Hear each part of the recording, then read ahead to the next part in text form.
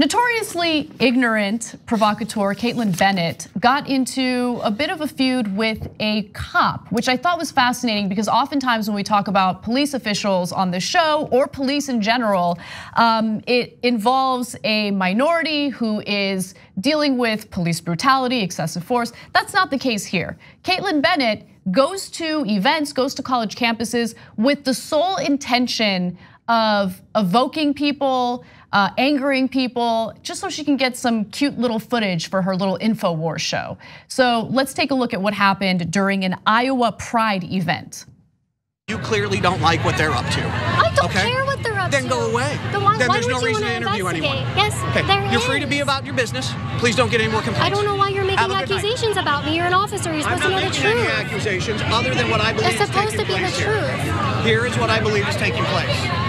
Because you're hanging a microphone in my face, you're Yes, playing these silly games. Because you're an officer Then and go you're do supposed to uphold the law Then and, do and your the First. Amendment I am and the holding the law. truth. Have you been handcuffed yet? Have you No, but but I've been here and threatened argue with me? it. That's all you've done is sit and argue with me about Is complaints support? that I received about you. I you support said you, you got guys. complaints, so then I attempted to help you. You chose not to ask for my help in that consideration. you wanted to confiscate our property. You wanted me to investigate what you said was a crime. That's the only way it can be investigated. By taking not, nope, it's not I confiscating. just wanna know It's putting it into evidence so the detectives can take a look at it. All right, so let's recap. There's a pride event going down in Iowa. People are enjoying themselves. Kaitlin Bennett's a provocateur. She shows up with her camera and she starts asking people inappropriate and degrading questions. We've shown you videos of her doing that in the past. And a few people complained about it to the police, and the police are like, you need to stop. You don't have to leave, but you, you gotta stop doing this.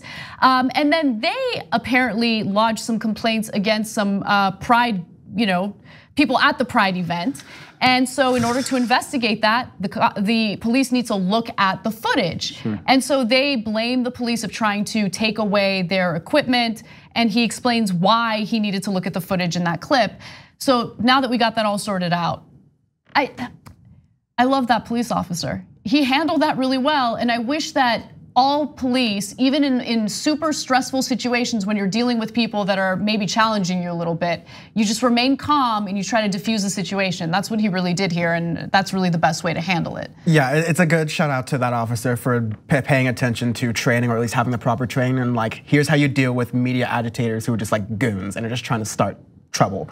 Um, I was looking at that clip like, oh my god, if like I were doing that, I would have been arrested like the 28, se- 27 second of that. Yeah, I thought the same because you, you don't get the right like. As a person of color, at least, you don't get the right to argue with police. It's like whatever, however wrong they are, like whatever they say goes. Like you're not supposed to do that because we literally have video of people trying to record the police and getting shot afterwards Right. for that. Mm-hmm. So like it- it's very it's worth noting that she's able to do this special kind of grift when a And lot of other changes people her couldn't have. voice. She's- she changes her yeah. voice. She tries to be all nice. She tries It's to a say real I'm baby talk voice, by the way. I, you know, it's weird that she goes into that affect. There's this baby talk, innocent kid thing, and you know, I'm just a kid practicing journalism type thing.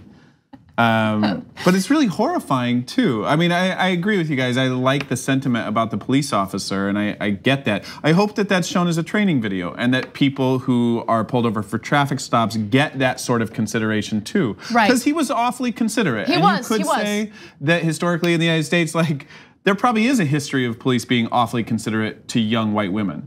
Is there Yeah. a history of police being, uh, you know, considerate to other people? And and so I, Yeah, in fact, I, I want to go to the next clip because um, in this next one, he he seems to be aware, like very aware of what oh the yeah, situation he's media is. savvy He for is, sure. he He's is. like, I know you're trying to make a video. Let's take a look. I believe what you're doing here right now is this would be great film for you, right? Arguing with the cop. Oh my God, you got him. No, this That's what this is all about. audience loves cops. That wouldn't make sense. Then let's move on with our night, I so know, I I'm can go protect somebody that might actually need to be I protected. why can't you right? tell people that they can't just make Right? me leave because of accusations? These are accusations Did I make against you me. leave? No, no, that's not what Did I'm I make saying. you leave? No, I'm, I'm trying to explain. Do you keep understand people go to jail all the time based on accusations, and then it's up I to. Do, and I want to and protect then- myself. Yes, good point. I want to protect Then I myself. would leave everybody alone because they I'm- clearly don't like you. talk- It sounds So like I you're have to taking leave because- I'm not taking she anyone's side. I'm not taking Well, you anyone's said leave leave people alone. I would say this seems like a bad idea in here, but that's just me. If I had white Right pri- after that, he he basically walked away from them. It was Oh, masterfully done. uh, if I had white privilege for a day, oh, that'd be amazing. wow.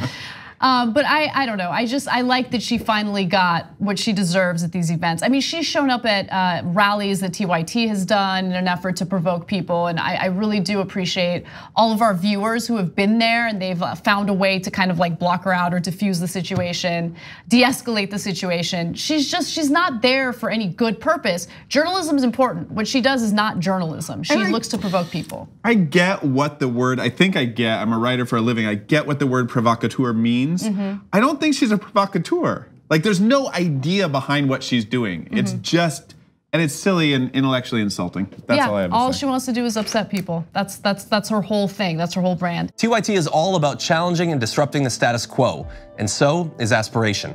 Aspiration does not invest your money into fossil fuel businesses that harm our planet, such as pipelines and oil drilling.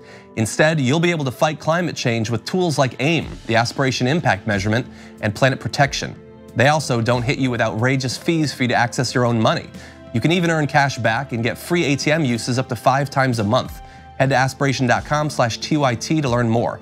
For a limited time, get 30 days of free TYT membership when you sign up.